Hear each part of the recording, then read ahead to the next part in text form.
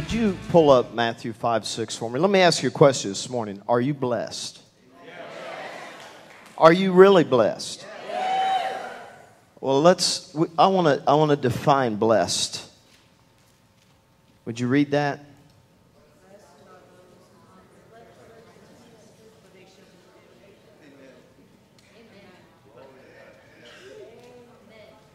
Are you hungry? Are you thirsty? A lot of people aren't hungry. They're not thirsty. Very first prophecy I ever received, 1982, when I was born again. I didn't even know what prophecy was, and I went to church and there was a prayer meeting. I thought, well, I want to be a part of that. Didn't have any idea what kind of prayer meeting it would be. And I walked in, and at that time, I was so hungry. I was so thirsty. I mean, I literally would wake up panting for God in the morning and go to sleep meditating on Him in the evening. That was a lot of years ago. And this lady named Chloe pulls me over and she said, What's your name, young man? And I said, Dave. And she began to prophesy over me.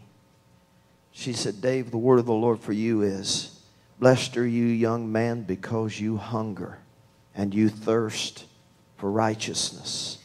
And, young man, the Spirit of God would say to you, You will be filled. You will be filled. And we've been getting filled all week. It's been like nine days of glory around here. If you haven't gotten filled, it's just because you got too much leaking. Everybody say vessels leak. We got to keep them filled up. Life can leak. You got to stay full. So this morning, let's hook up with uh, Prophet Kevin as he comes, and he's going to impart today. Man, last night, if you weren't here, you moved a good, you missed a great opportunity to get close. He brought a message on getting close. We had a visitation in this room last night that was extraordinary. But you know what? It's a brand new day. It's a brand new day, and we're about to have a brand new visitation today. Just say, Jesus, I'm so hungry. I'm so thirsty. I'm so thirsty for the living God. As a deer pants for the water,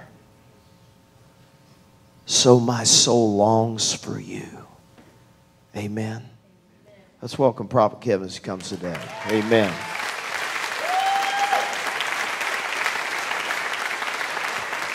Amen.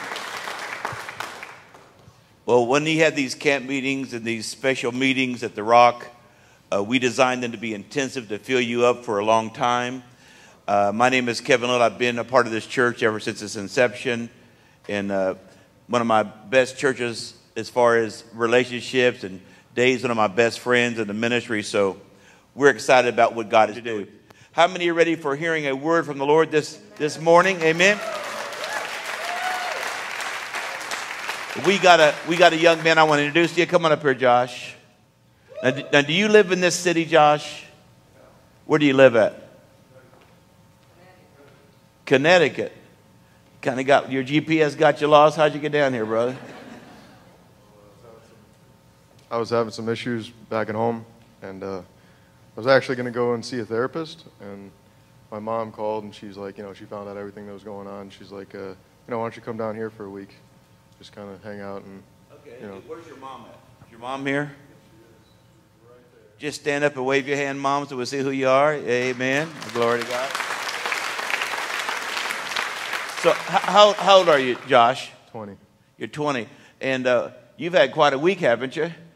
Yeah. What, what, what happened to you? Just tell what happened to you and how you feel. Just kind of stand up straight. They're not your enemies. Just kind of look at them eyeball to eyeball. Here, hold them. I got saved on Monday.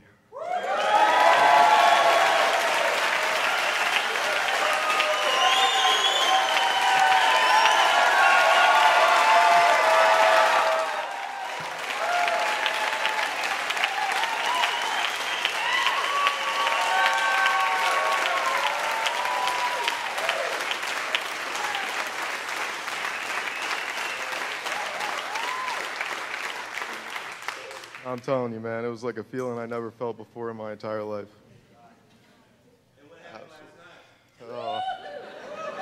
Got to experience that same feeling again. Absolutely.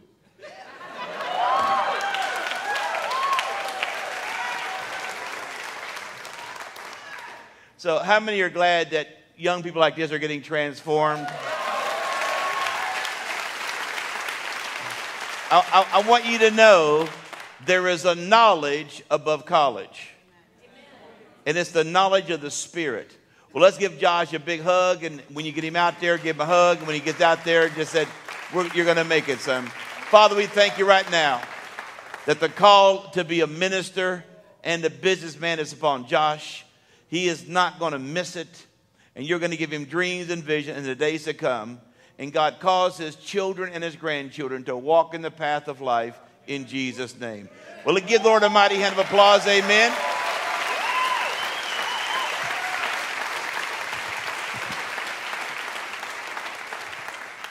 Are we recording back there? Okay. Well, I'm going to start with a humorous story since it's Sunday morning. I very seldom do this, but it's Sunday morning, so let me start with this. Get on my Joel Osteen anointing here. Hallelujah.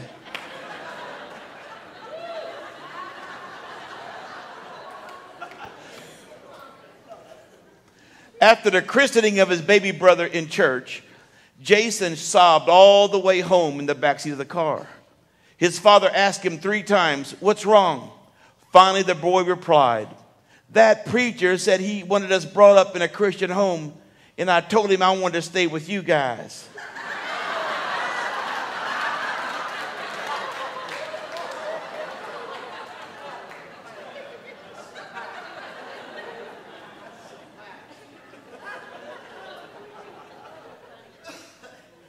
As you read the Bible, you see Jesus revealed, but he doesn't just reveal himself with one dimension or one face. In the book of Ephesians, especially, he is revealed as having five different natures the apostle, the prophet, the pastor, the teacher, and the evangelist.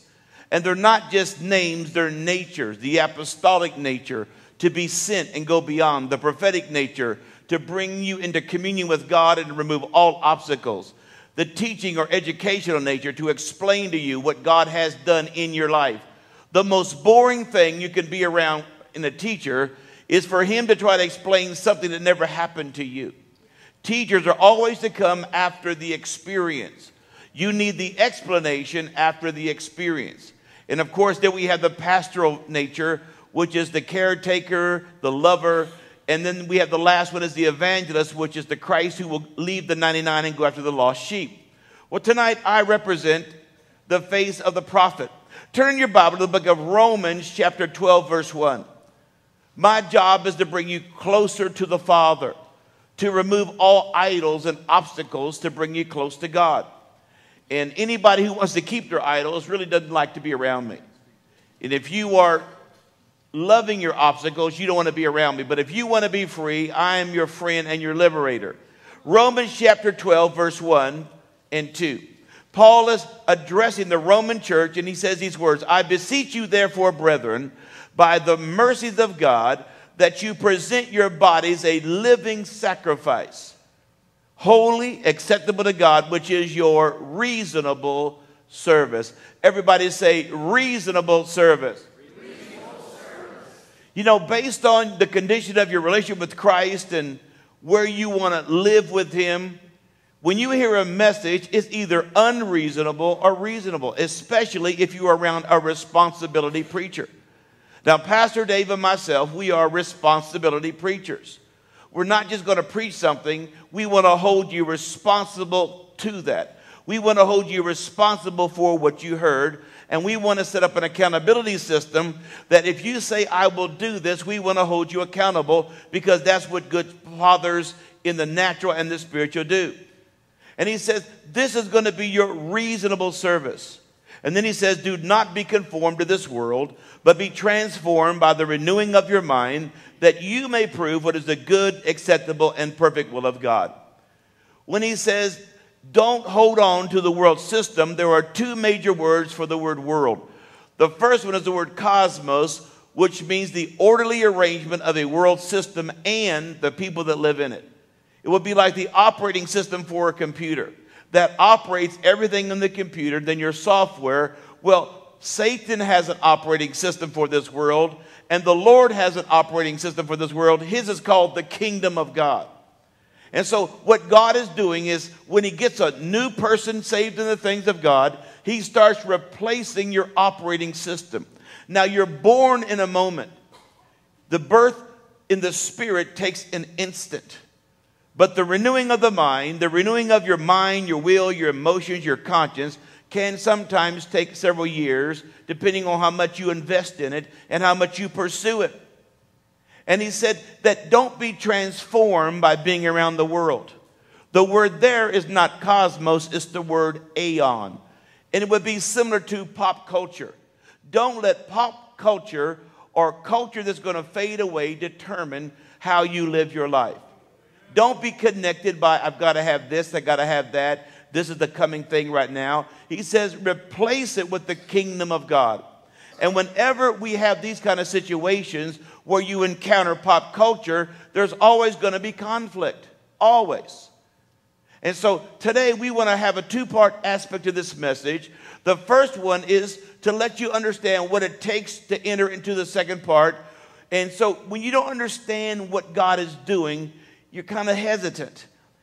Anytime you ask somebody a direct question and they have hesitation, it's because they have low revelation or they haven't made a decision. And so the Spirit of God is here today to bring you to a new place in Him by giving you understanding. Now, the main focus and assignment upon all churches, but this church in particular, is apostolic. The concept of apostolic comes from the Greek Roman mindset. Jesus actually borrowed the word apostle from the Roman and Greek military system. The apostle was what we would call a general or an admiral of a fleet of ships or an army of men going to a foreign country to colonize it. And he told the 12 disciples that now you guys are going to be my apostles. You're going to represent my army. You're going to represent my kingdom. And so the apostolic anointing or the apostolic heart always wants to colonize. The pastoral heart always wants to harmonize and get everybody that's broken pulled in. But because of the call of the pastor in this church, it is extremely apostolic. The moment that something gets to be a routine, the moment something gets to a maintenance level where there's no more fighting and warfare, your pastor gets bored and he wants to expand again. That is how God designed him. That is how he was designed by God. Well, the apostolic calling needs something that cannot be created in a moment. They need disciples.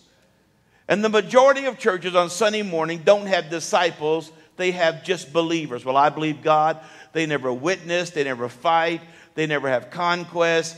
They never cast out a devil, never prophesy, but they're nice people. Everybody say, nice people. Nice people. Say it again. But that's not why Jesus came. He didn't come to make bad men good, He came to make dead men alive and walk in the purposes of God. And so, in order for you to be an apostle, you got to have disciples, you got to have warriors, you got to have workers. And Jesus said, Don't pray for the harvest, pray for workers. And then equip those workers so they can flow and move in the things of God. If you do not confront and contradict the culture that is in America, it will capture the Christians that are around you. And so when you're making disciples, you have to be conscious all the time confront the culture, confront the value system, confront, confront, confront. And we've got tons of Christians in our churches who are confused in their value systems. They celebrate things that God says these are abominations. You get many Christians, they don't understand uh, why, why we don't accept homosexuality as a viable lifestyle. Well, they love each other. Well, what's going to be next? Your Great Dane, I love my Great Dane in the same way. No, you, you got to have a draw. I draw lines where God draws lines. I said, I draw lines where God draws a line. I agree with him. That's why I'm a Christian. If you don't agree with him, you may not be a Christian. So I have to confront popular culture, its values, its mores, its concepts about how to live your life and your conclusions. And so when you understand what we're confronting, it makes it more simple and direct to create disciples. You know, I have said for years that the prophets of the pop culture are the comedians. There is something prophetic about comedians because they can see a situation and they can find the irony in it. And the moment that a popular culture comedian with bad morals and bad values starts making fun of something, he can demonize something that is good and make you think, I don't want to be a part of that, or you do that. And so when you make disciples, you have to crush that. Now, I want you to imagine for just a few minutes that the Rock Church right here is the only expression of Christianity for 100 miles from this location. How the people in this 100 mile sphere will interpret what Christianity is for the next three generations will depend upon how you live and how you present the gospel of the kingdom. Your lifestyle, your family life, your values, your morals, your sensitivity to the Holy Spirit, your witness, your demonstration of the power of God will determine the decisions and the directions of who becomes a Christian and what they'll be in the next three generations. You see, if you were the only church in this county, could God use you and could He depend on you? If there was no other options. And the reason I say this is because in your own Bible is a testimony of when the church went from apostolic to pastoral and they were captured by pop culture. When you read in your Bible, turn to the book of Ephesians or Philippians or Colossians, most of those books were from the Asia Minor area, southern Turkey, Mesopotamia, all around there. They were bastions, they were forceful places of apostolic church planting. But if you go to those places now, they're Muslim or they're neutral. It's against the law in Corinth that area right there to preach the gospel on the street. It's against the law. How did they lose such ground? How did they go from the place where you wrote scriptures about and apostolic teams to the place now where there's nothing? It comes by good people who do nothing, who do nothing to witness to their situation, who do nothing to change the things that are in this area. And I said, Lord, what is stopping this church from exploding. And I'm going to tell you something when God tells you something, when the Holy Spirit talks to you, it is so simple many times, you just pass it. And here's what he said there is a lack of desire for the end result. There's a lack of desire for the end result. Oh, well, I go to church on Sunday morning, three fast, three slow, preach, get the money, and away we go get my go to heaven card punched, say hi to my friends, and I'm done for seven days. That is not Christianity. That is not how he designed it. That's believerism. That's not disciples. And Pastor Dave has been commenting several times this week. He said, Man, I'm just tired. And this guy's got a, a, a, tremendous work ethic as far as going to the gym and exercising. He said, Man, I'm just tired. This morning at 3:40 the spirit of God visited my bedroom and he says he's tired because he's been fighting principalities for his people.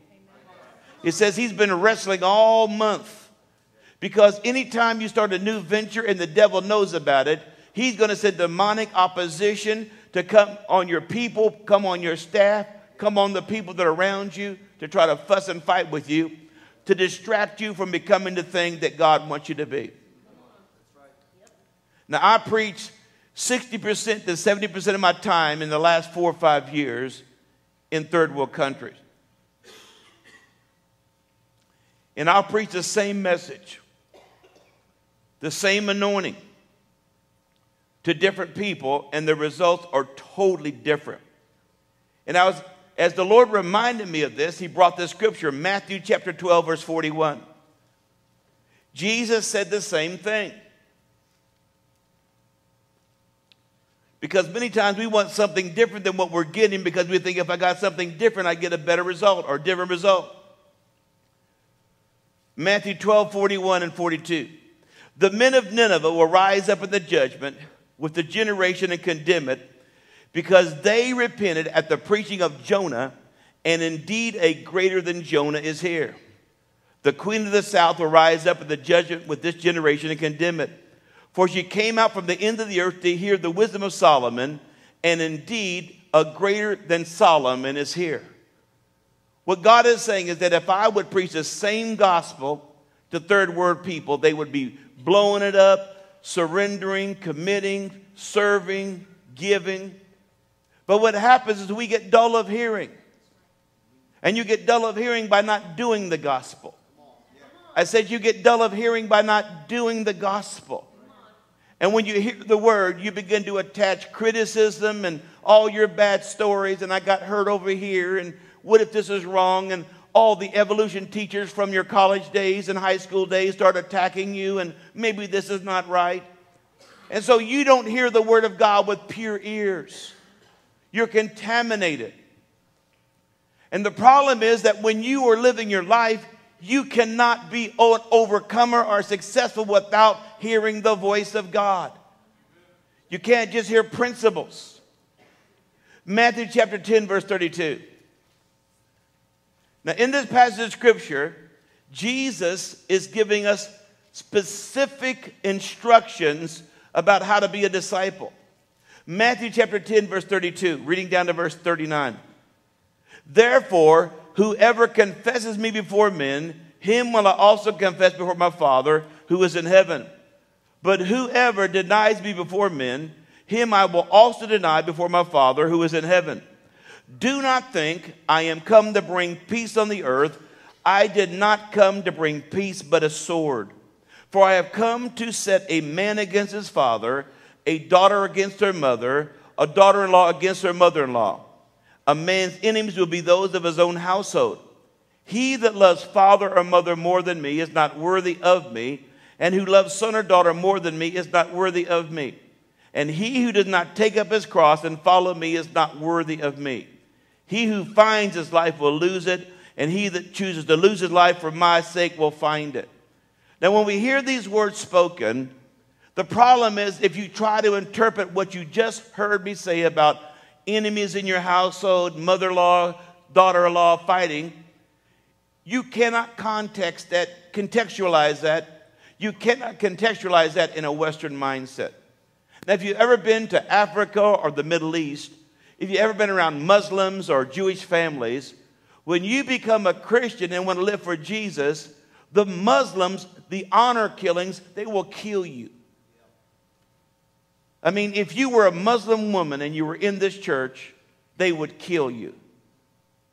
If you were a Jew, they would turn their back on you and said, "My son is dead. My daughter is dead." And so what Jesus is saying that if you're going to choose me, you've got to choose me as more valuable than any other relationship. That's what he's basically saying. He's not saying don't be nice to your family, don't become a cult. What he's saying is that I choose you as my highest relationship, regardless of what anybody else says to me. Whether my family, my father, my mother, my brother, my sister. And most people that make an initial call to God and come to God, it's usually a family member or a close friend that leads you from discipleship. Now, the devil may be working through them. I advise all you young people when you get born again and when you get spirit filled, go through your cell phone and anybody that would be a, a, a, detriment or a temptation for you, delete them or put a call block on your phone. Because the devil will move on people to seduce you from your purposes. And until you make up your mind, this is my highest relationship, there is none other, I'm not going to let anybody else deter me I'm going to pick up my cross and I'm going to follow Jesus. And the problem in this church today is that we got too many half committed Christians. You're trying to live his life and save your life at the same time. You cannot do both. You cannot do both. And I'm not talking about being legalistic, I'm talking about being single minded, single visioned. There are some things you cannot do once you become a Christian. He said, if you confess me before men, you know what that really means? It means to live the gospel openly. It when somebody challenges you about what you believe, you challenge them back. You challenge them back. If they say, man, let's go get some beer, says, no, you don't say, no, I'm not thirsty. No, you say, I've chosen not to drink. I've chosen not to inhabit in that behavior. Why? Because I'm a born again Christian, and that's not going to be a good witness for me. I choose not to smoke marijuana. I choose not to play that game. It didn't say, Well, I'm busy tonight. That's not what he said. He says, Confess my purposes, confess my morals, confess my values before men. And when you do that, I will confess you before the Father. It means to live openly. It means to live opposite of the way you were living before you got born again. It means to live with persecution. Many Christians, the first couple of months they get saved, they're on fire, they're kind of raw. Everybody say, kind of raw. But because they want to be accepted back with friends, or what if this Christian thing didn't work out, they become sophisticated sinners. They don't really raise their hands full force. Hallelujah. And you can see they go from on fire hand gets lower, lower, lower, voice gets lower, lower, lower, manifestation gets lower, lower, lower, zeal gets lower, lower. Pretty soon, hallelujah. God bless you. I love you. You go from on fire prophetic ministry to Barney prophecy. I love you. You love me. We're a happy family. You're not going to conquer nothing with that Barney attitude. And the Spirit of God is saying, you've got to make a decision if you're going to be a part of what I'm doing in this church. There's hundreds of churches, hundreds, that you can be in sin, you could be compromised, and no one will ever ask you a question, no one will ever confront you. But the book of Proverbs says, Woe to the child who raises himself, who has no parents speaking into their life. To deny means to contradict, to disavow, to disregard, to reject. And the Spirit of God is here today saying, I am choosing to do something brand new through you. That was a good place to shout and scream if you didn't believe it. I'm choosing to do something brand new through you.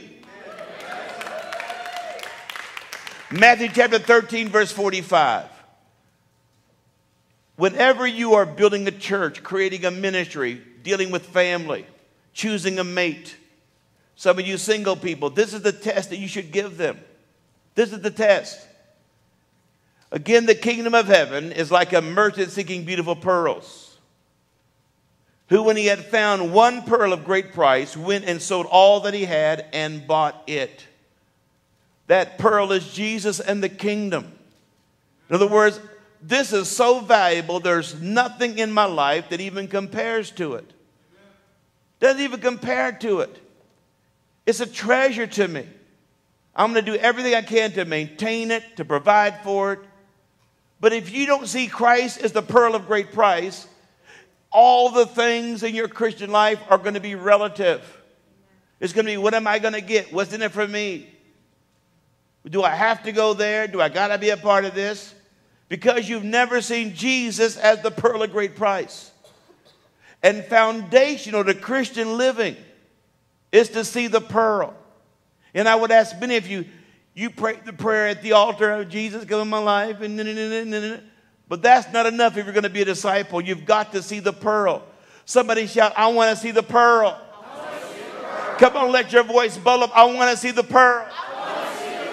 Come on, let a scream come out of you. I want to see the pearl because all of you have many, many pearls. Your job is a pearl, recreation is a pearl, sports is a pearl. And we don't want to take any of those things away from you, but when God says, hey, now is the time, I need you. I need you now.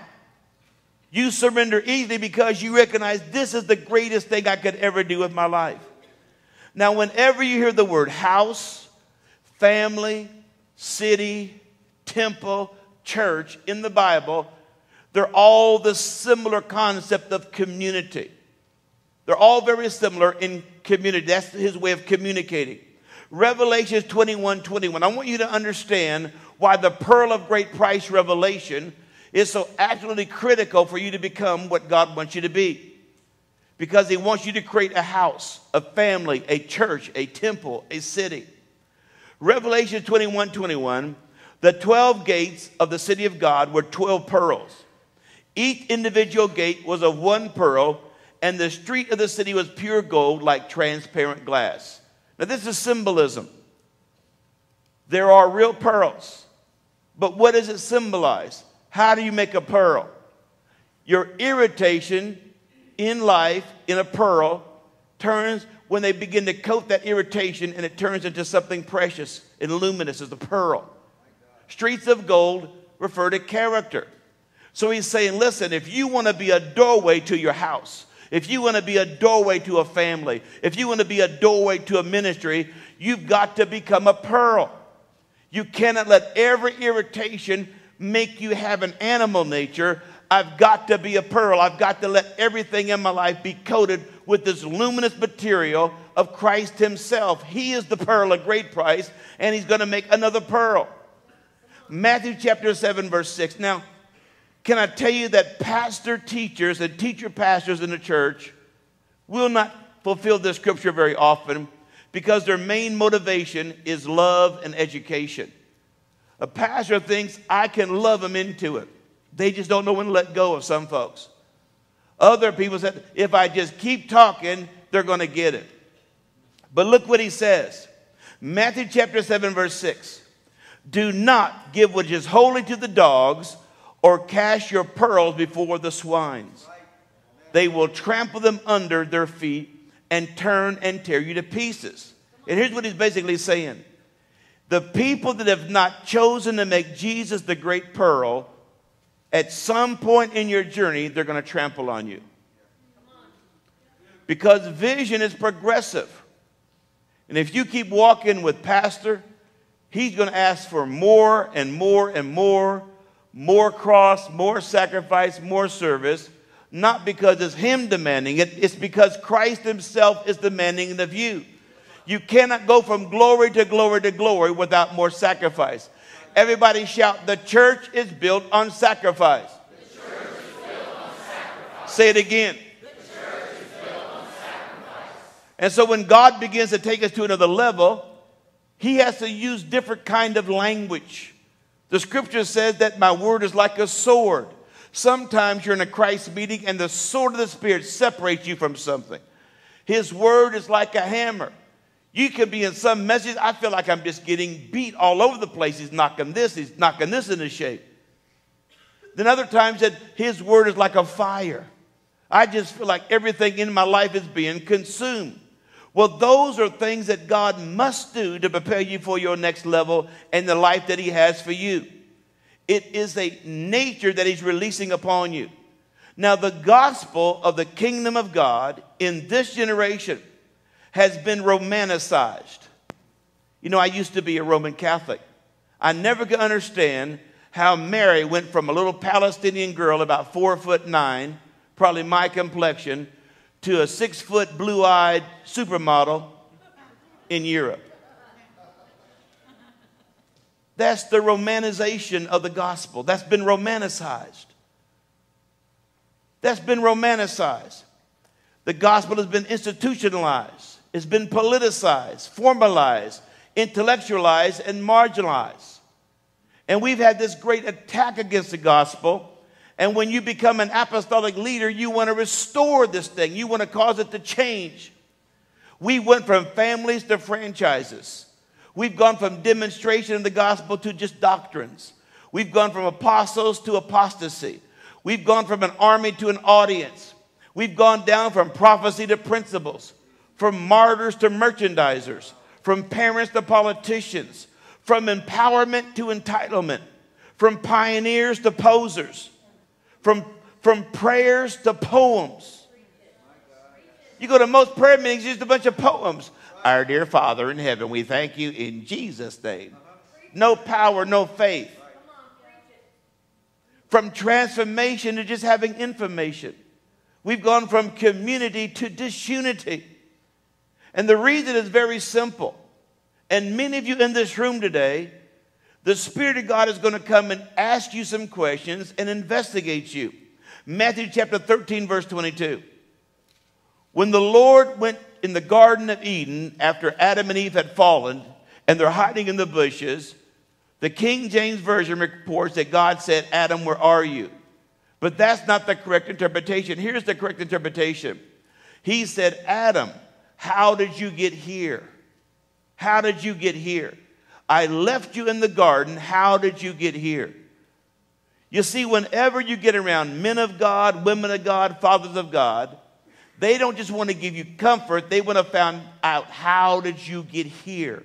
How did you get in this mess? How did you get so confused? Why? Because if I don't diffuse it, you're going to be there again after the restoration. Matthew chapter 13, verse 22. Now he that received the seed among the thorns is he that hears the word, that word there is logos, and the cares of the world, the word there is aeon. The cares of pop culture. The cares of pop culture, the deceitfulness of riches choke the word and it become unfruitful. The word cares means distraction, anxiety, to divide me, to cut me to pieces. Now, God doesn't want you to be in a monastery and all you do is go to church. But on the other side, He wants you to be devoted to the kingdom exclusively. And God will give you time for vacations and your family, He will give you time for recreation. But when that becomes your idol, when it takes preeminence to the pearl, that's when God rises up and said, It's choking out the seed inside of you. You see, every one of you has a gift and a calling. Every one of you has a divine assignment that one day you'll be judged for what you did with that gift and that talent.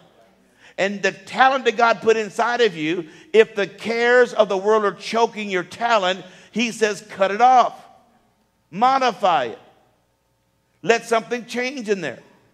The word deceitfulness of riches means to be deluded. You know, I know people that have worked double jobs to buy a shirt or a pair of shoes that ends up in a garage sale five years later. And it's still on their credit card. They're still paying for it. It's worth nothing. It's a pop culture icon.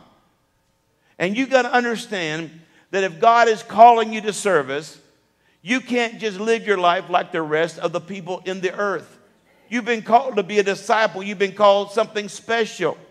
You've been called to impact a generation. The word choke means to suffocate, to drown, or to strangle. Now, there are two entities that God Himself initiated and ordained. Number one is the family, and number two is the local church.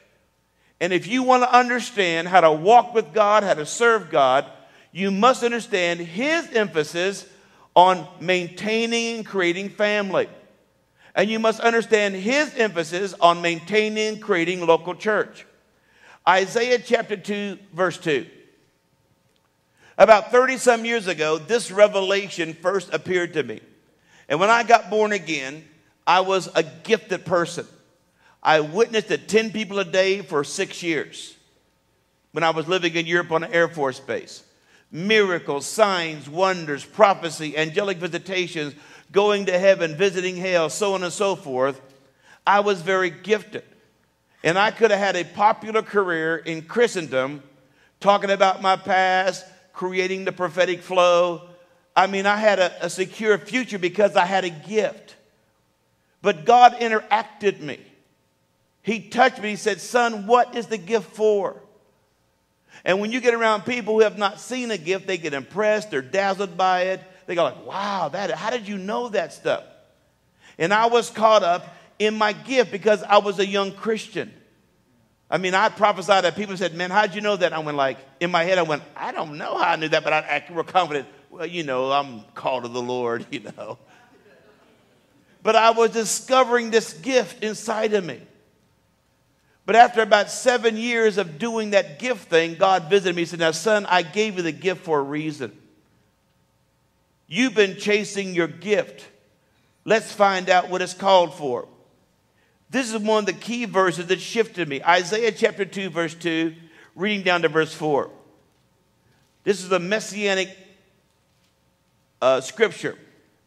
Now it shall come to pass in the latter days of the mountain of the Lord's house shall be established on the top of the hills or mountains, and shall be established above the hills in all nations. The word nation is the word ethnos. It means people groups. Ethnos is people groups.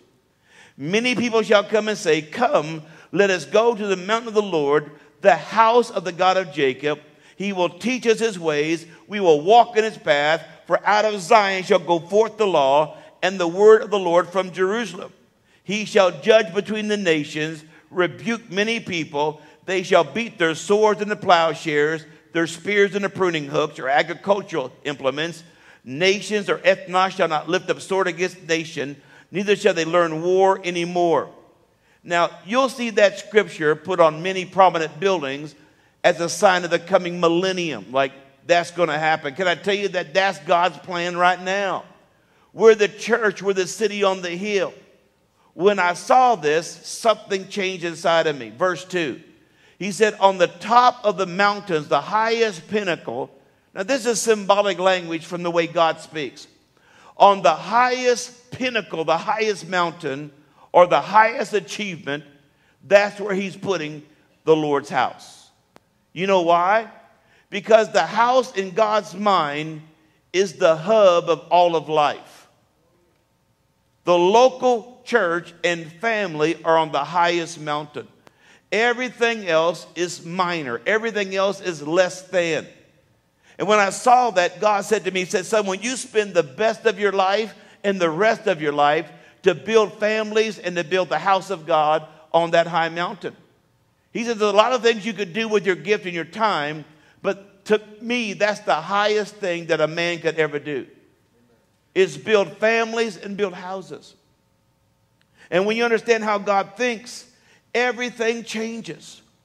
And one of the things that I've found as I've traveled these 40 years is that whenever I find gifted people, they are the most difficult people to pastor and to lead. The deeper their gift, the greater their gift, the more difficult they are to lead. The more talent and innovation they have, the more difficult they are to put on a team. They got the prima donna attitude, the I'm better than you attitude. I, I can do this and you can't do this. All this friction, frickin' frack. You see it in 1 Corinthians chapter 3.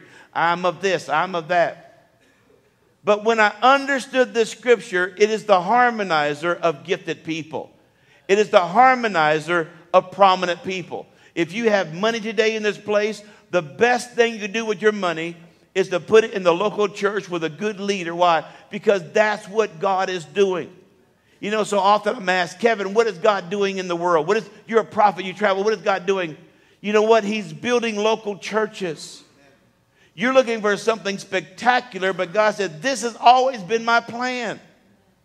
This is my plan, building solid local churches with solid families.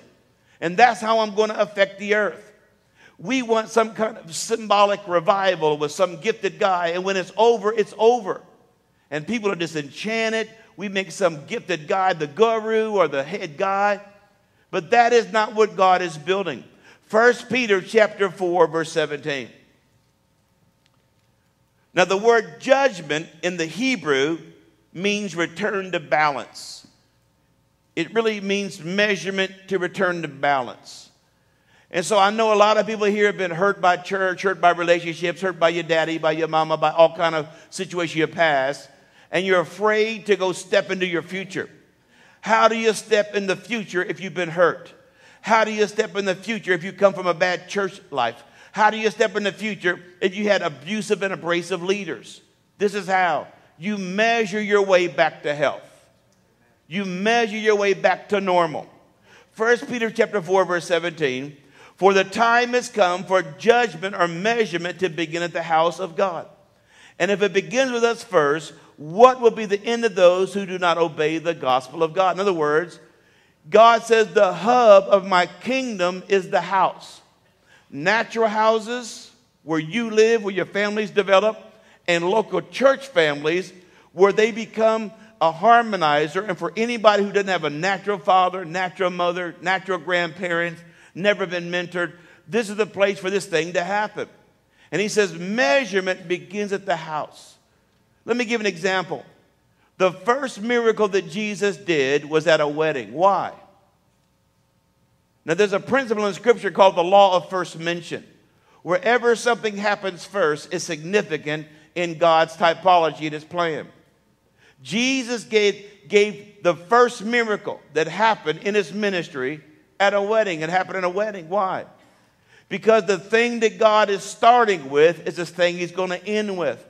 We're going to end with the marriage supper of the Lamb. He's beginning with the end. It's the architectural design. Guys, this is what I'm building. Use your anointing for this. Use your gift for this. Use your energy for this. I'm building family. I'm building church. And then he takes these six water pots that symbolizes man. The number six always symbolizes man because man was made on the sixth day. The water pots were clay that had turned into stone because they'd been fired. He fills them with water, and the water turns to wine. Why? Because God says your teaching and your revelation will stay water until you live in the context of community. Living in community turns my water into wine. Everybody's a marriage expert until they get married. Everybody's an expert on child education until they get a child. Your water or your teaching or your theory turns to wine, which is life in the context of relationships. And you know, the problem is we've got a Jesus in theology that is not a real Jesus. How many could imagine Jesus dancing at that Jewish wedding? How many could imagine him smiling and laughing with a glass of wine, spinning around? Hey, God, you're legal now, dude. Get it on, get it on. No more condemnation. You're dialed in, brother. Well, that's how everybody acts at weddings, isn't it? Why would Jesus say, I, I bless your wedding? You're blessed by the Messiah. No. It's a fun event. Jesus started his ministry at a party. He started his ministry at a celebration of life. Because that's what God is after. That was a paradigm of what your ministry is for. Now, whenever you read literature or whenever you watch a movie, there's always a plot and a subplot. Everybody say plot, and subplot. And so when you look at some kind of theater or you look at a show or you read a book, you have to decide as an author what's the plot going to be. You have your main characters or your main premise of the book, but then you have other subplot characters and situations that they're not critical to the plot, but they add to the plot. They support the plot. And so that's the same way it is with the Lord. It's like how many have seen the movie Shrek? You saw the movie Shrek. What is the plot of Shrek? Distempered ogre meets princess. And he only meets her in the daytime, but really she's an ogre by nighttime. And so he falls in love, and that's the plot. That's the plot. But there were other creatures in that movie that were subplot. Let me ask you a question was the donkey plot or subplot? subplot. How about the cartoon characters in the forest, plot or subplot? subplot. How about the dragon, plot or subplot? How about the midget king, plot or subplot? Now, what would happen if they emphasized the subplot more than the plot? What happens to the story? Gets confusing and messed up. Doesn't make any sense. Well, God has a story called the kingdom of God. Now, watch. What is prophecy, plot, or subplot? I get any confusing voices here. What is prophecy, plot, or subplot? Subplot. What is worship, plot, or subplot? What is family, plot, or subplot? No, families plot. Because God says, You call me father because the father wants a family. Making sons and daughters, plot or subplot. That's plot. Generational thinking, plot or subplot. So you understand that many times in the church, we got people that are gifted for the subplot, but they want to make the plot their gift. I have a deliverance ministry and I will do the deliverance thing. Hey, that's subplot, bro. We only got you here to cast out the devil so that you don't mess up the plot. Oh, I got a healing anointing. Shababa, shababa. Plot or subplot? Now, we got to get you healed so that when you get in a relationship, you don't drive people crazy. Do you understand that it produces subplot and plot? And so, if you don't understand that I was born for the plot, that my subplot must support the plot, else I destroy the plot. And some of you, you ought to rewrite your business card subplot ministries. Used to be plot ministries. And so the thing is that because your subplot is so exciting and so bombastic and so dramatic, you think I must be as important as the plot because the demons come out screaming. I must be as important as the plot because people get healed and jump off of crutches. Well, Jesus designed that you be subplot. And you can be a part of the plot if you understand how to take your gift and surrender it to the plot. You know, years ago, I would go to a church like this, and I could probably prophesy to 50 or 60 of you right now this morning. And here's how my services went 30 years ago I'd be preaching along, and I'd see healing or this or prophecy, and I'd I'd stop my own message and say, Sir, can I pray for you? They start crying, demons come out. I walk over, I have a word for you. I'd hijack my own service.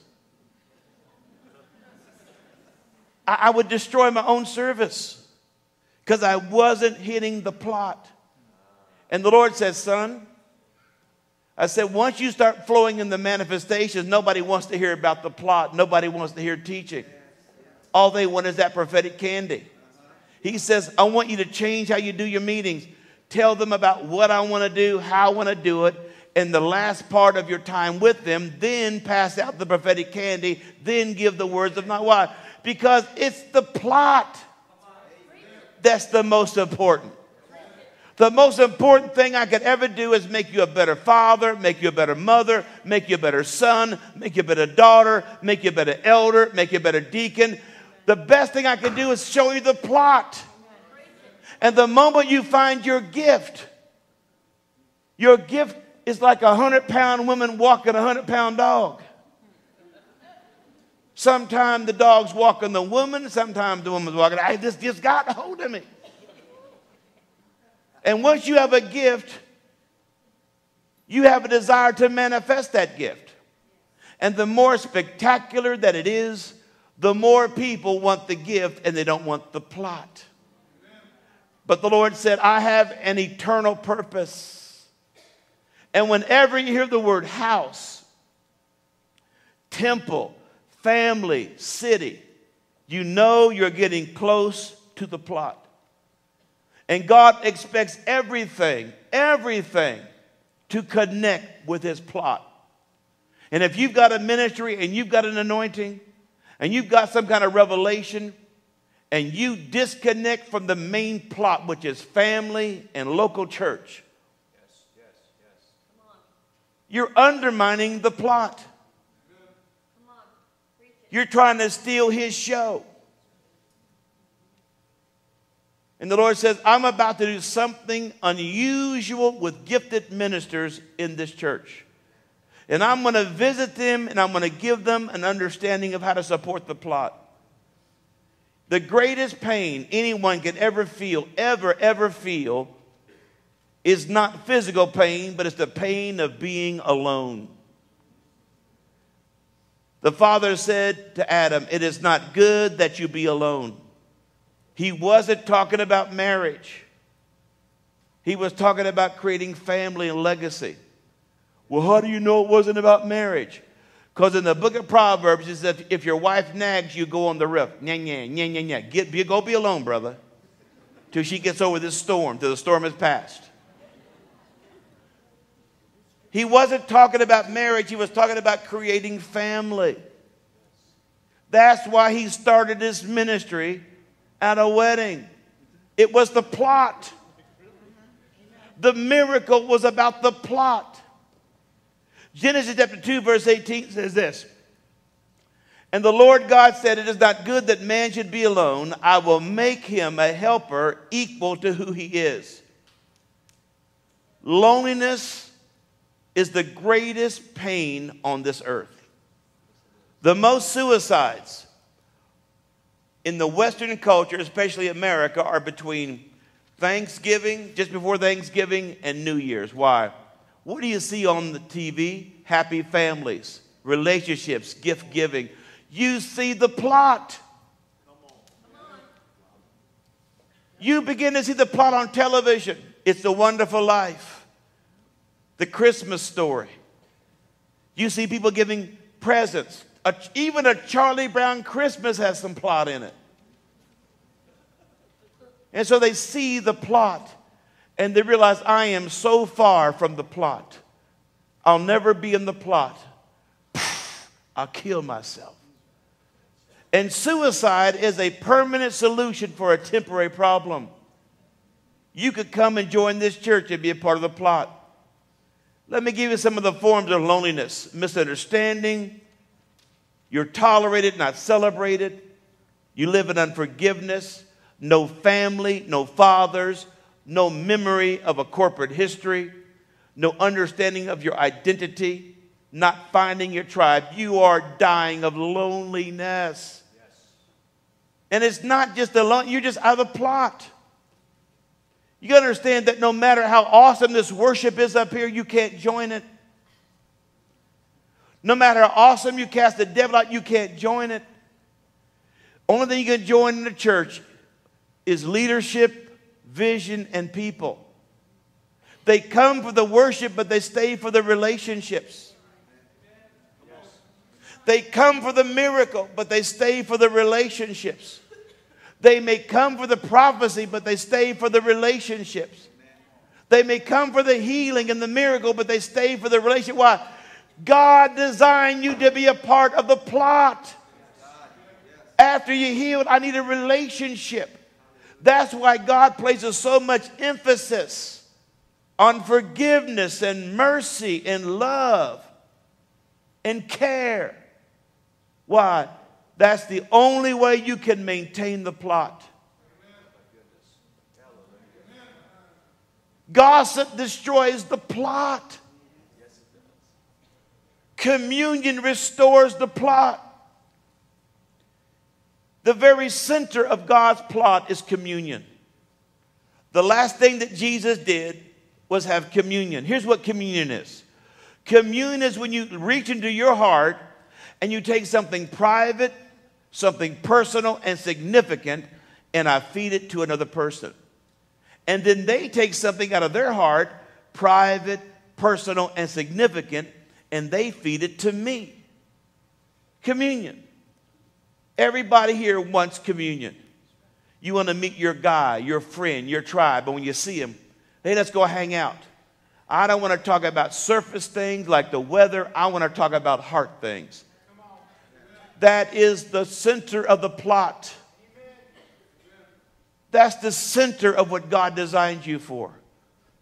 And that's why God hates religion and politics and strife. Do you know what the opposite of communion is? gossip. Because gossip is personal, private, and significant. I mean, if it's going to be good gossip, it's got to be significant. If it's going to be good gossip, it's got to be private. Did you know? It is the exact opposite of communion, and that's why God hates gossip. And there's gossipers here, and you're going to find yourself against God because you're messing with his plot. You're separating from the plot. You're dividing from the plot. You're the subplot, and you think you're so anointed, but you're destroying the plot, and God will end up cutting you off. Now, it is so interesting how we in the Western world cherry pick scriptures.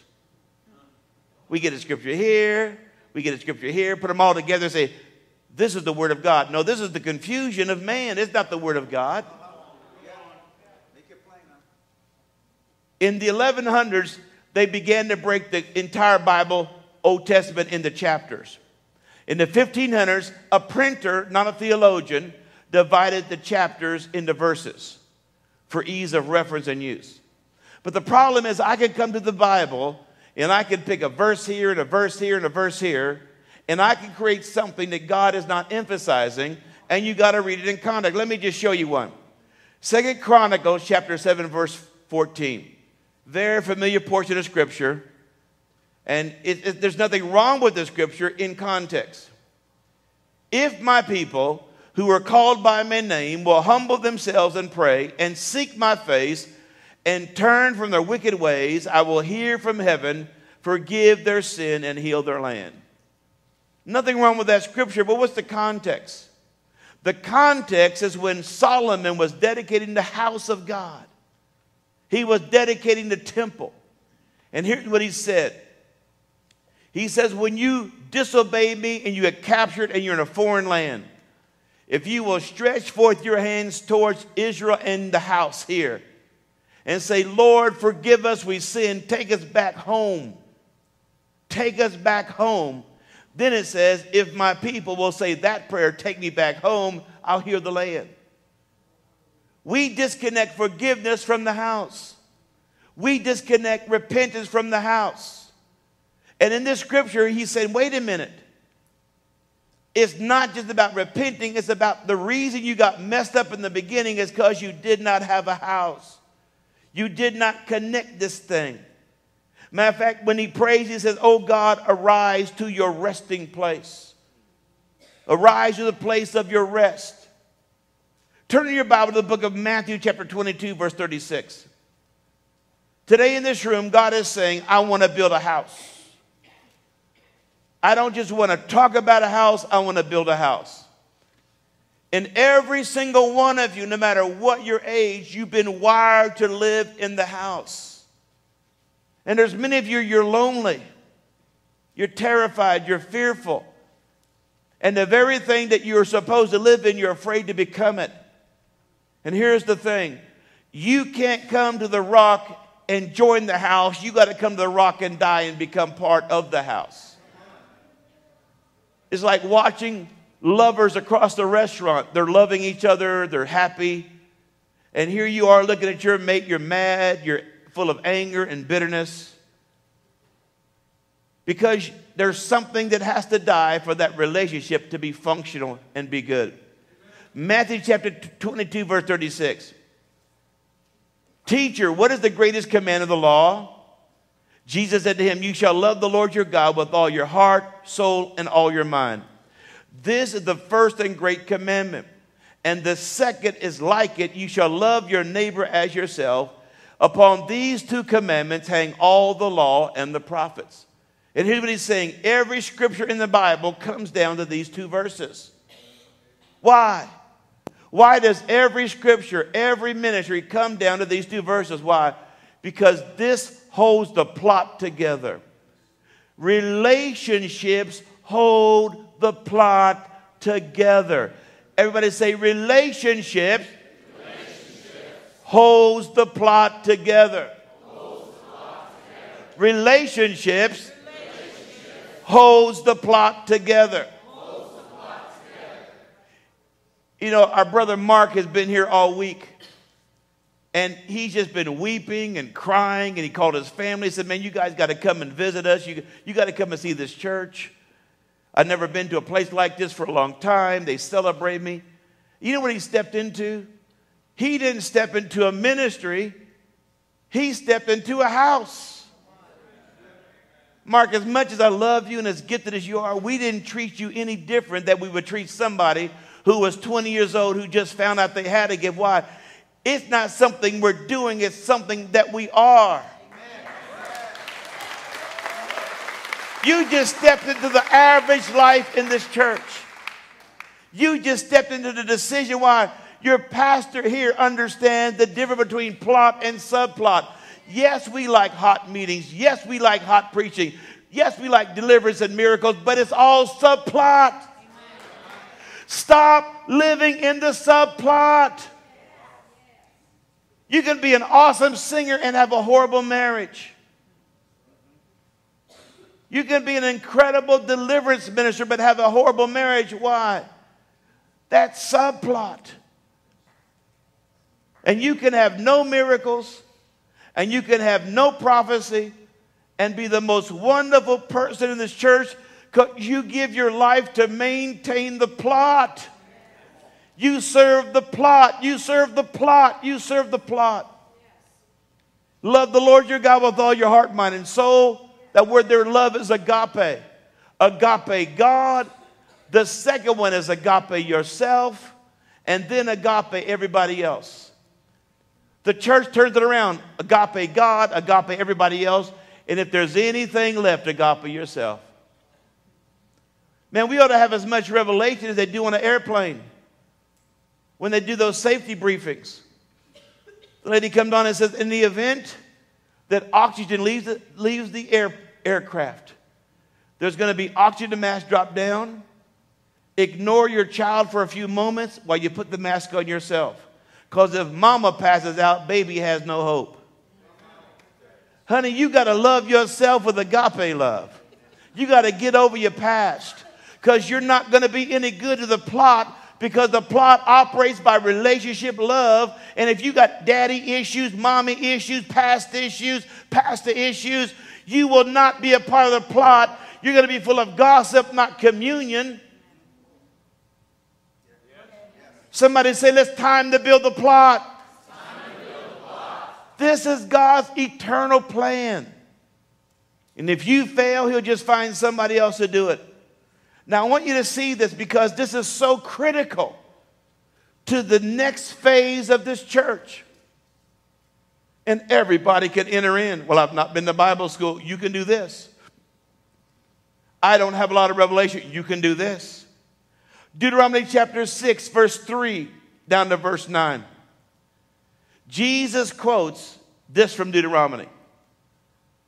Therefore, hear, O Israel, and be careful to observe that it may be well with you, that you may be multiplied greatly as the Lord your God, fathers, has promised you, and given you a land flowing with milk and honey. Hear, O Israel, the Lord our God is one. You shall love the Lord your God with all your heart, all your soul, all your strength. And these words which I command you today shall be in your heart. You shall teach them diligently to your children. You shall talk of them when you sit in your house, walk by the way, when you sit down, and when you rise up. You shall be binding them to your, as a sign to your hand. They shall be as frontlets on your eyes. You shall write them on the doorposts of your house and on your gates. Now you got to understand what he just got to saying. He said, The scripture I read in Jesus, the scripture I read in Matthew, where it says, Love the Lord your God with all your heart, mind, and soul and strength, that's revelation. But a revelation without application will leave you deep in frustration. How do you make that scripture reality? When you sit, when you stand, when you walk and when you lay down, you live this thing. You talk to your children. The gospel is caught, not taught. We are trying to do in a classroom what can only be done in a living room relationships. You join the church in a relationship, not in a worship service. Well, I really like their worship. I really like that guy's anointing. I like demons coming out. Yeah, but you can't live on that. Man, that Kevin had a good prophetic flow. You can't live on that. You can only live on relationships. And that's why many churches you go to in many areas, the pastor lives in his title, not in his nature. I am bishop, blah, blah, blah, blah, blah, blah, blah. You made your title your idol. Now, you need to respect the gifts that God gives you, but come on, we, we've taken this thing to superstar status. I got to have bodyguards in, bodyguards out. All right, you five bodyguards, walk with me. I'm your anointed leader. Brother, you only got 100 people in your church. Who are you protecting yourself from? I mean, if the adoring masses are ripping your clothes off, yeah, bodyguards, but you're Pee Wee Herman. Come on, Doc. You don't need all five of those guys. And sometimes we have such this great desire to be relevant and to be current. I mean, years ago, I was at this little church. It wasn't no bigger than a cracker box. And the pulpit was right like this, and the pastor's office was where the end of the stage. It wouldn't, it wouldn't but 30 feet away. And they had armor bearers. I got nothing against armor bearers. And they had those Radio Shack walkie talkies. So he said, he said, Are you ready to go, prophet? I says, Yeah, I am. So we go to the door. I can see the pulpit from the door. It's a clear shot. It's back from here to the sound booth. I mean, it's nothing. And he gets on his walkie talkie, number one to number two. I can hear the guy without a walkie talkie. number one, number two.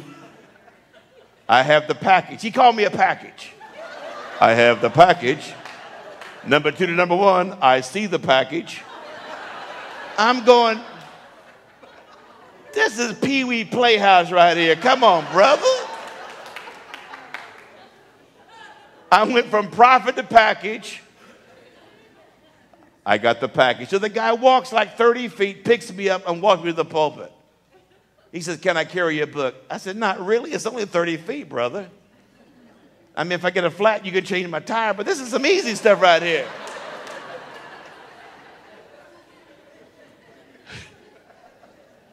but it becomes religious theater because we don't know how to be normal. We don't know how to be relational. You ever see, I mean, there's some ethnic groups that when they meet, they're just so full of cliches. How you doing, saint? Blessed of the Lord and highly flavored. How you doing, saint? The Lord is good. All the time, God is good. Well, how come you so broke? How come your marriage doesn't work out? That's just a cliche, brother. Be honest. Be real. Become a relationship person. You're dying of religious loneliness because you refuse to take off your armor and just be you in the family of God. And then we got all these crazy preacher types that want to have a religious show. They don't want to relate to normal people. You know, there's actually classes in seminaries that say, as a leader, you cannot fraternize with your people. They won't respect you. You have to maintain an image of that you're higher than them. It's called the law of familiarity, or the, the, the doctrine of familiarity. Well, that's not what Jesus did. Matter of fact, he starts undressing. Here's my wound right here. Here's where I got punctured right here. You got to understand that this thing has to be maintained as fathers and mothers. My job is to make a son. My job is to make a daughter who grows up to be a father and a mother who makes sons and daughters. And we will not have what God wants us to have until we adopt the revelation that we are here to build the plot. We're here to make this thing. I'm telling you, we got more spiritual orphanages and religious daycares in America.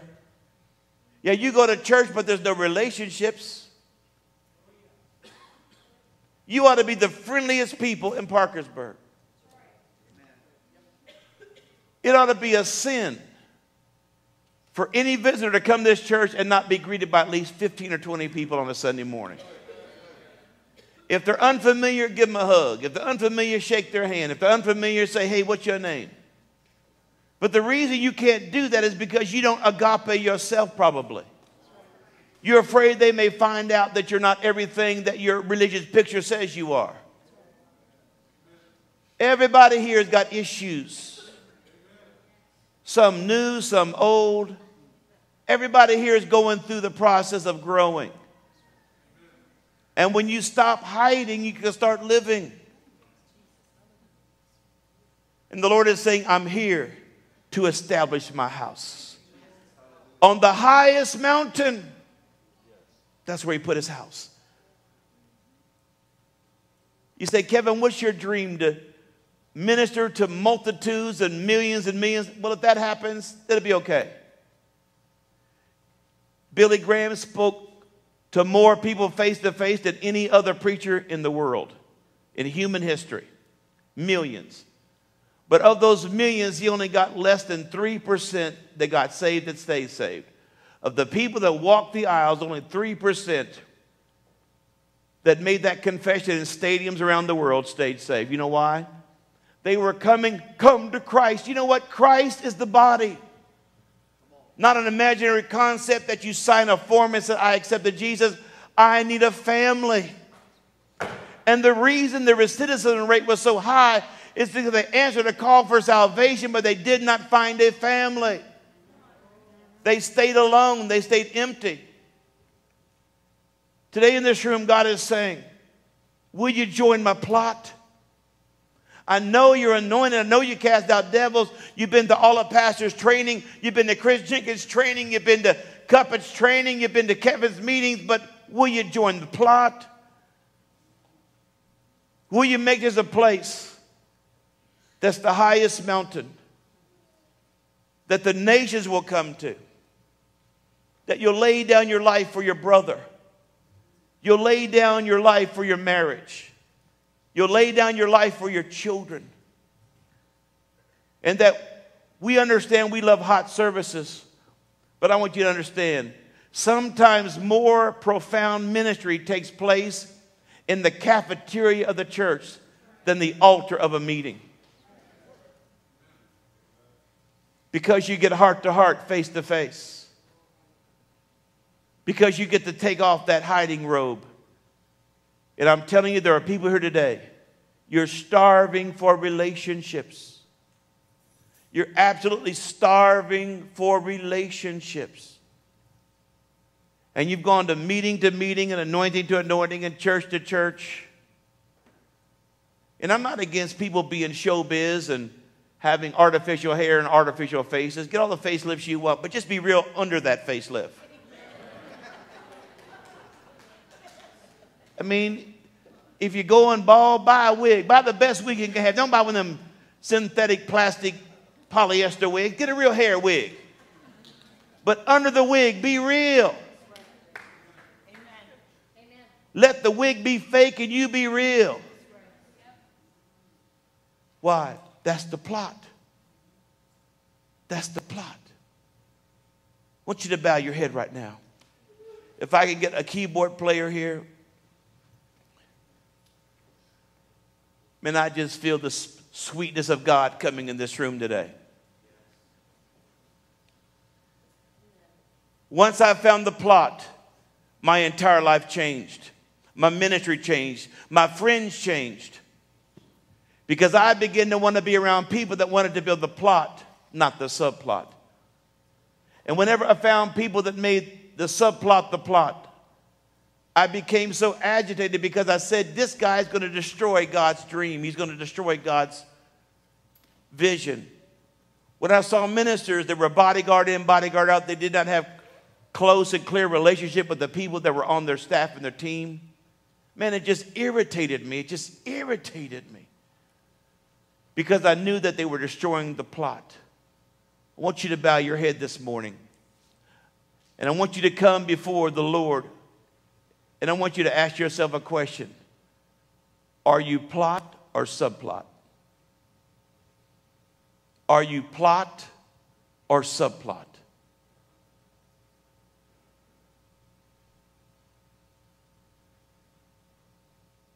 Are you building the plot or just having ministry?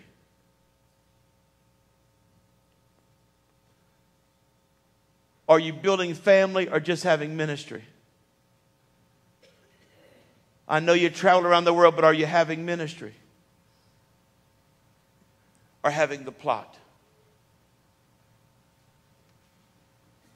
Now, these kind of meetings are to measure you. I used to prophesy 90% more than I do now. Why? Because I thought my prophecy was the plot.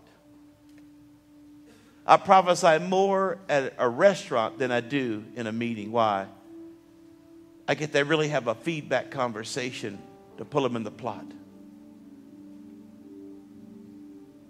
If you've been living for the subplot,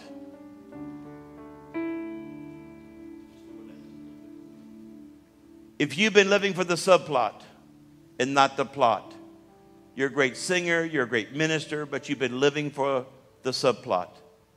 I want you to make that adjustment inside of your heart this morning. Make that adjustment in your heart. And there's a lot of you, you're broken because you went from church to church and ministry to ministry. They had great preaching and teaching, but they didn't have the plot. You came from a family without a good plot. No father, no mother. Dictators instead of daddies. And now you come to the church with this incredible gift. You don't even know how to be a family because you never had one. You need to get into the plot. If you know you've missed this whole plot thing, just raise your hand. Just sit where you are, just raise your hands. You know you've missed the plot. You've been living in the subplot, you've been ministering in the subplot.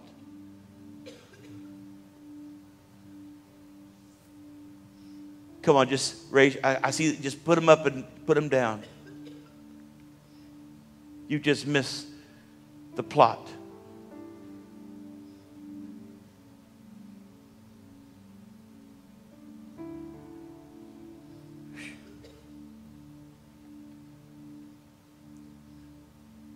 Now, Father, be more than a title today. Just follow this church and be a father to us. Without Father, we can't have the plot. It was your idea. Without Father, we cannot have the plot because you maintain and hold together all that we are. You know, it's amazing when Jesus came to the earth, he did not come as a titled minister, he came as a son. When he was baptized at the Jordan, he didn't say, This is my beloved apostle, prophet, pastor. He said, This is my beloved son. Why? That's the main ingredient to build the plot sons and daughters who become fathers and mothers. I want to be known as a father more than a prophet. I want to be known more as a son than anything else. Why? It's the plot. It's the plot. It's the plot. Can you sing something, Nikki? Is there something you can sing that you can think of?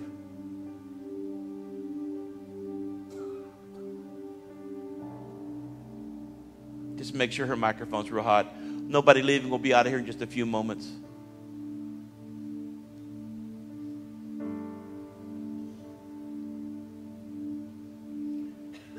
I feel the Holy Ghost shifting. I feel the Holy Ghost moving.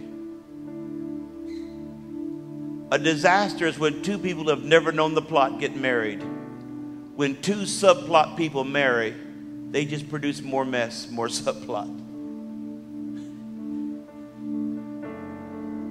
They fight for stage time.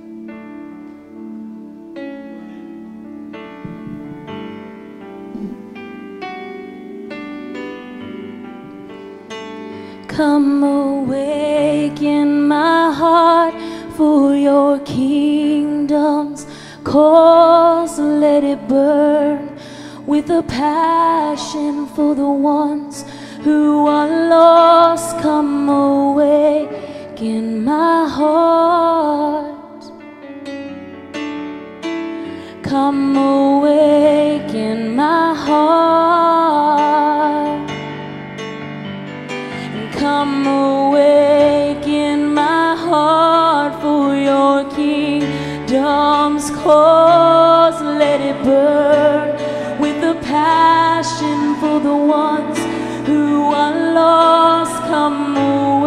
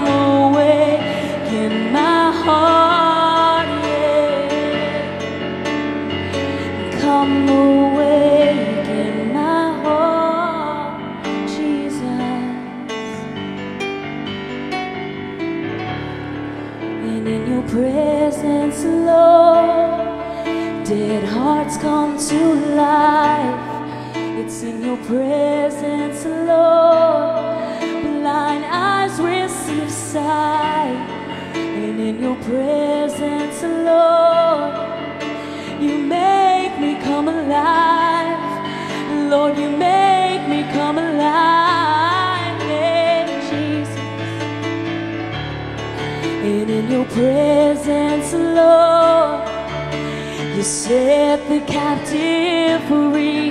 And in your presence, Lord, and I find all I need. It's in your presence, Lord, that you make me come alive. Lord, you make me come alive. Oh, come awaken kingdom's cause. Let it burn with a passion for the ones who are lost. Come awaken my heart.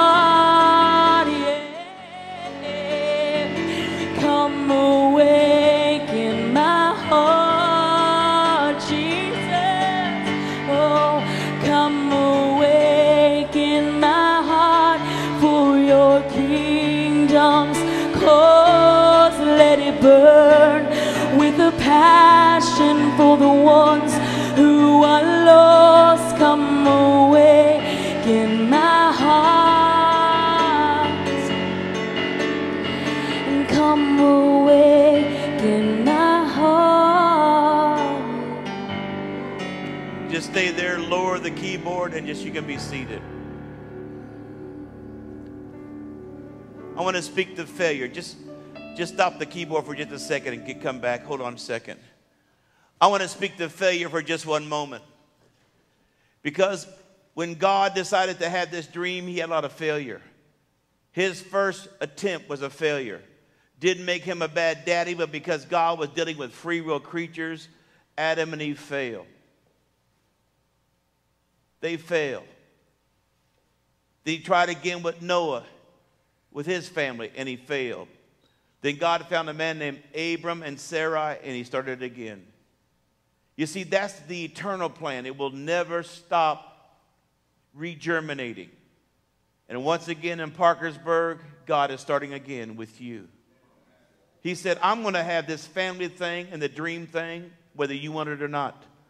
And of all the names that God could have been called in scriptures, El Shaddai, Jehovah Nisi, the bright morning star, the name that God loves the most is Father.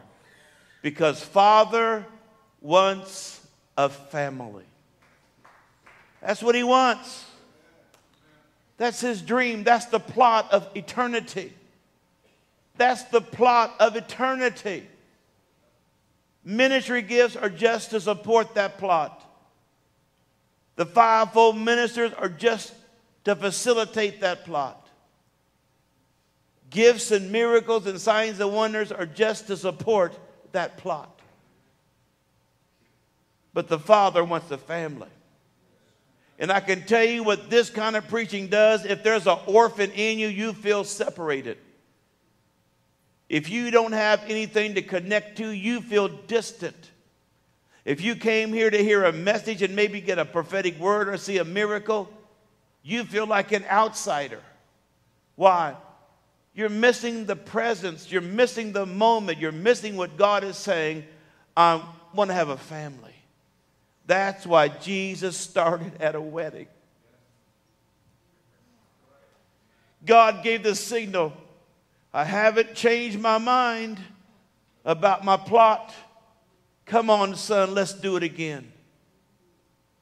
And every time Jesus had a visitation where God spoke from heaven, he said the same thing This is my son.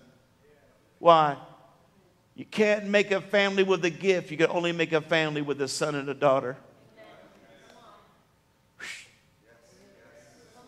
You can't make a family with deliverance. You can't make a family with miracles.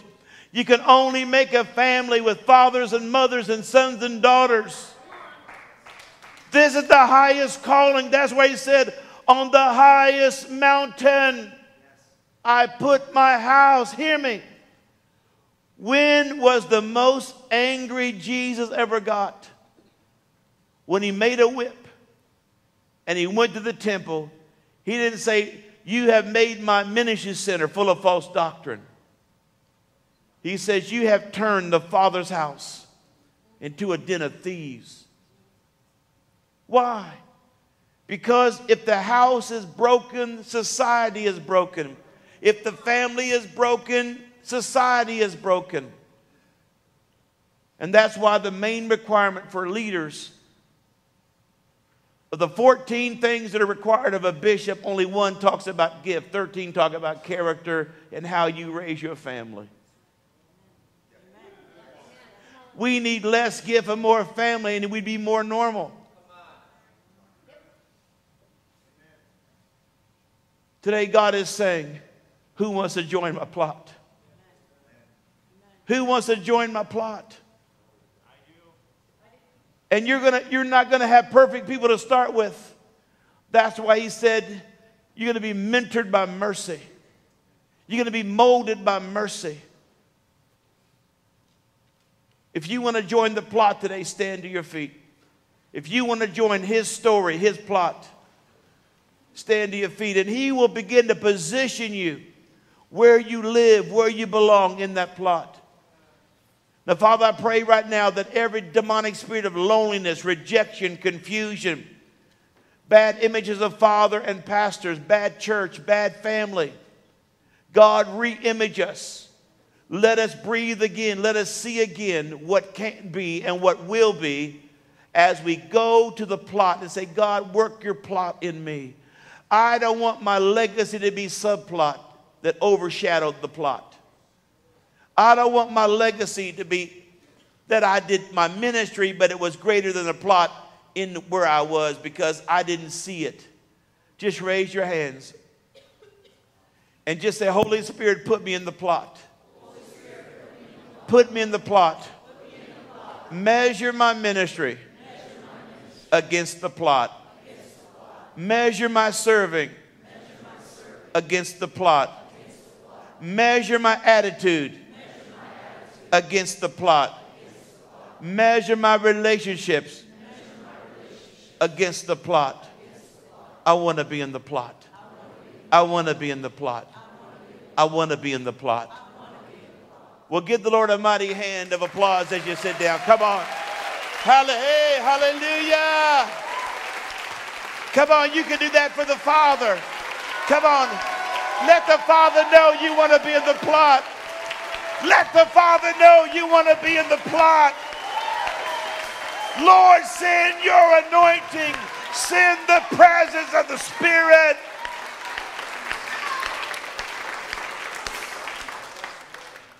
That's why when he dedicated both temples, Moses and Solomon, the cloud came on the house. We want the same kind of anointing to be on our ministry that comes on the house, but it will never happen. Because the greatest, highest calling is for the cloud to come on the house. We're going to receive a missions offering. I'm going to be going to Ecuador in just a few days. You can be seated. If you'll just play, sis. You should have an envelope in front of you. If you don't have an envelope, just raise your hands. We'll get you one. Now, everything that comes in these kind of offerings specifically goes to us so we can go to the nations. I'm at a time of my life where I want to go spend time with the nations and have things change and erupt. Thousands of ministers have never heard anything like this. They're living for the subplot. They're living for subplot. If you're making out a check, make it out to the rock. And if you get that envelope, just put plot on there. Just put plot or subplot. If you're a married couple, talk among yourselves about what you think, hey, we ought to do this. We, we could give this. There's something about giving to prophets that break open new territories that God says there's a special gift, there's a special grace when you do that. If you don't have an envelope, just raise your hands. I'll make sure you get one. Make out your check to The Rock, and they'll make sure they give us one missions offering.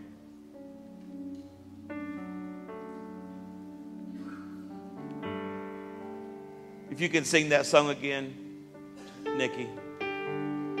Come on, God is saying, Come away and become part of my plot.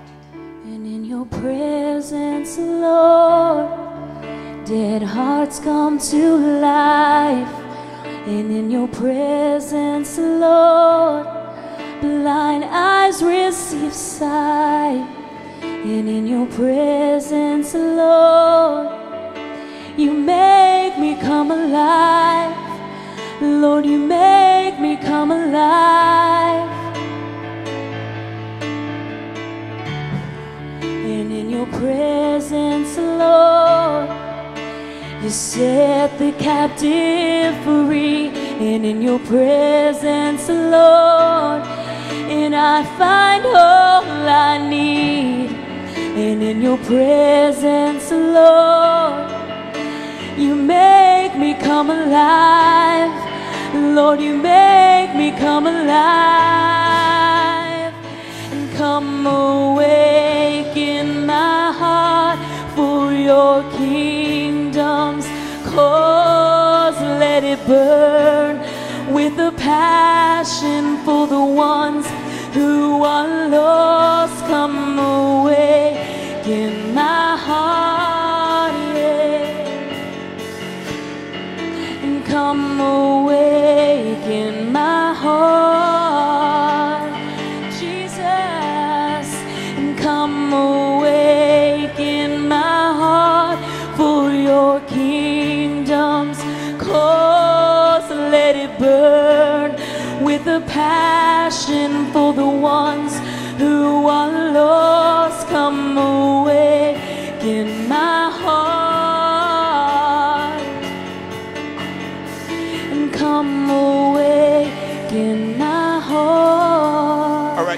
Receive their offerings if you would. Go ahead. And how many just feel the presence of the Holy Spirit confirming and shifting things?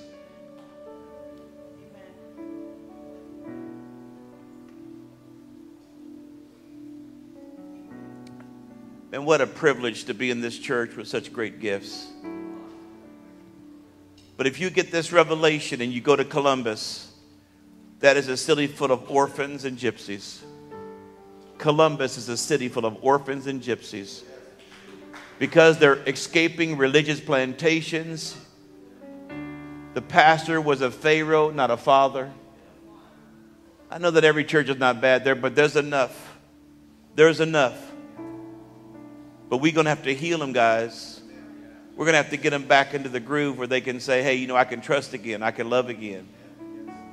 Tonight at 6.30, we're going to be talking about the kind of leadership it takes. 7 o'clock.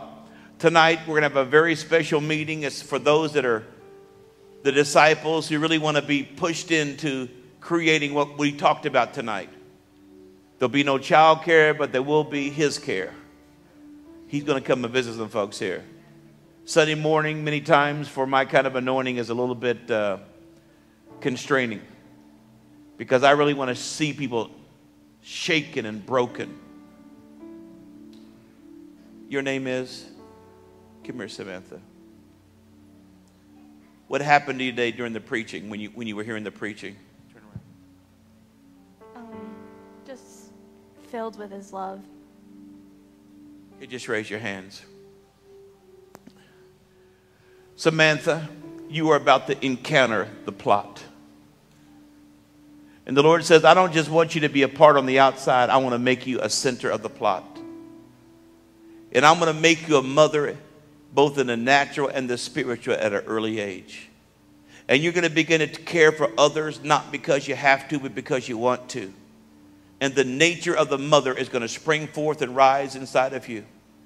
Now it's like a waterfall of God's acceptance and God's love is flowing over you right now. It's flowing right now. I want you to write a song with Sammy in it, Samantha. Just sing to her about acceptance and her being a mother. Go ahead. It's called On the Spot Ministries. Go ahead. I don't know where to begin.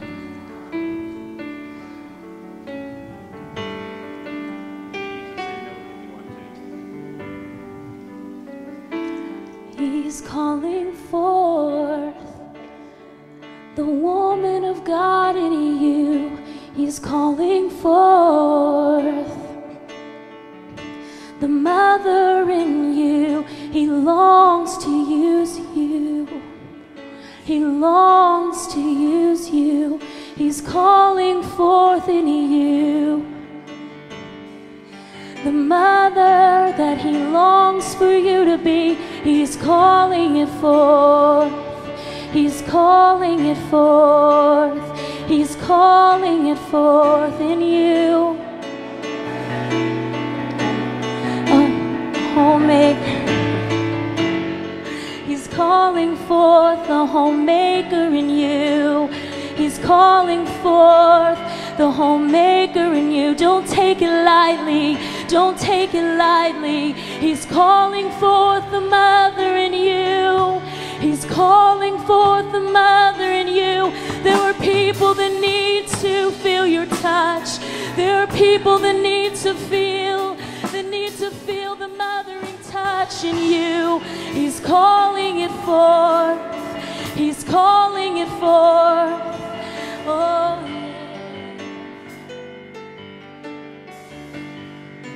Now, Father, cause her to have such a visitation of your spirit in the next 90 days that she gets this on her own.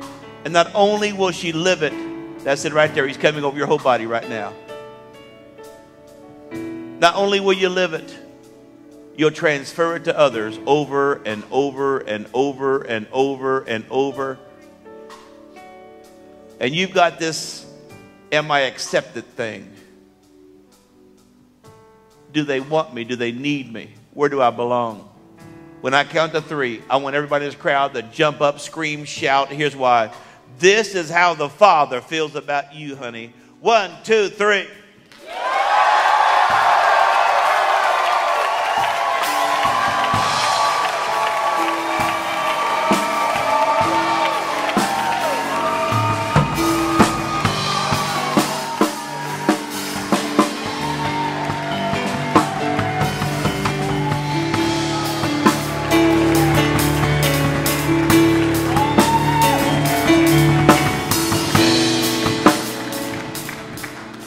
You can be seated. You're going to be gone here in two minutes. If you've never accepted Jesus Christ as your Savior, or you're backsliding, you're not where you need to be with God, you want to come back home to the house. You've never been born again, or you want to come back to God and be a part of the house, be a son and a daughter. If that's you, raise your hands. If that's you, come on, I want you to come up here, sir, in the white here. I want you, I want to, I want to pray for you. If you raised your hand, you said, I want to get saved or I want to come back home, raise your hands. Just come up here right now. Just come up here right now.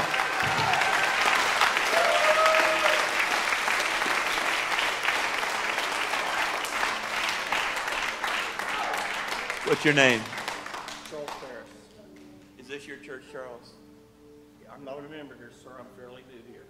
But I want to come back home. Come on, Charles. There's the glory of God coming on you right now. Do you pray in tongues, Charles? Where's Nagel at? Come here, Nagel. Come on, there's the Spirit of God coming on you right now. Just relax. It's going to be like water going inside of a vessel, helium in a balloon. Here it comes. One, two, three. It's coming over your whole body right now. That's it right there. Just take him out there and go get his spirit filled. Go with this guy. It'll be great. Come on. Hallelujah.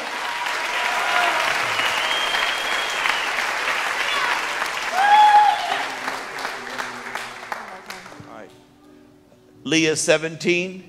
You're 17? Uh, I have no idea about her background, but I need about four or five women, women, not little girls, that said, I, I can mentor this girl. I, I can mother her. I, come on, just come. I need four, three or four of you to come. Come on.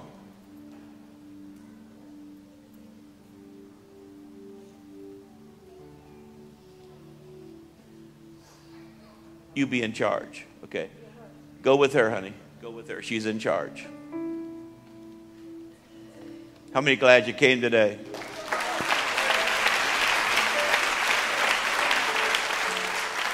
Man, there, there's something hanging in the atmosphere.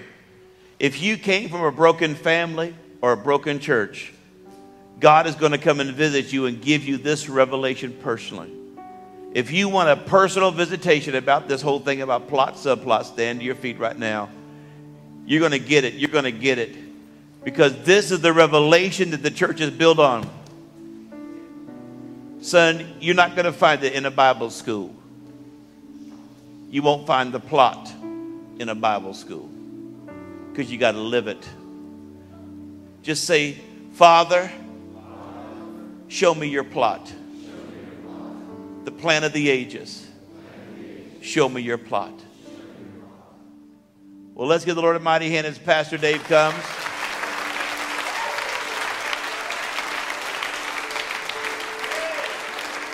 Hallelujah. Well, let's go and do, show and tell. Amen. Let's not be hearers only, but let's be doers of the word. Hallelujah. Tonight we'll be back at 7 for anybody that's hungry or thirsty for more. Amen. We love you. We bless you. Have a great afternoon. We'll see you. If not before, we'll see you tonight.